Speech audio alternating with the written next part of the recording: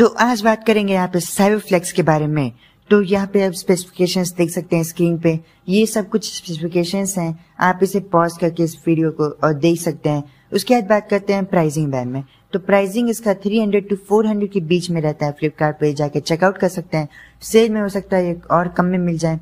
उसके बाद बात करते हैं रिव्यू बारे में। तो रिव्यू बहुत सारे फेक रिव्यूज़ भी होते हैं। तो आप इसमें देख सकते हैं एक अप्रोक्सीमेशन लगा सकते हैं कि ऐसा कुछ रहता है रिव्यू में। पर आप बात करते हैं ओपिनियन के बारे में। तो मेरा ये ओपिनियन है कि इस नेक बैंड को आप डेफिनेटली बाय कर सकते हैं। अगर 300 टू फोर के बीच में डेफिनेटली वर्थ है, पर अगर आप इसमें और भी पैसा मिला देंगे तो एक अच्छा नेक बैंड और बढ़िया, अच्छे ब्रांडिंग का ले सकते हैं।